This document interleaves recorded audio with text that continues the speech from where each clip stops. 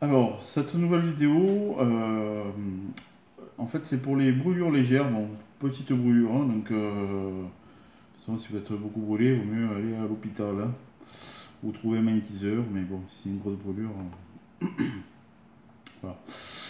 Donc, euh, vous prenez une feuille de chou que vous avez lavé et nettoyé avant, vous enlevez la côte principale, les, grosses les grosses côtes de la, feuille de chou. Euh, bon, en fait, tous les choux sont bons. En fait, euh, ceux-là sont, pas mal.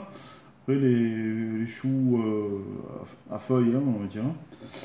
Donc, vous prenez un rouleau à pâtisserie, vous venez écraser les feuilles. Et en fait, vous venez appliquer votre feuille écrasée. Vous faites plusieurs couches sur la, sur la brûlure. Donc, si elle est localisée sur le dessus de la main. Vous allez faire, vous allez mettre deux ou trois couches sur le dessus de la main. Vous allez mettre un linge dessus, ce que vous avez, hein, ou une bande. Et vous allez venir maintenir l'ensemble serré dessus, euh, pas trop fort parce que ça va vous faire mal sur la brûlure. Et euh, vous le laissez agir euh, quelques heures, donc deux ou trois heures, et vous voyez ça va mieux. Normalement pour les brûlures c'est pas mal, donc c'est bien antiseptique le chou, et voilà, donc c'est une technique bah, de grand-mère et aussi médiévale, parce que bon, à l'époque on faisait comme ça quand on n'avait rien, et euh, c'était pas mal.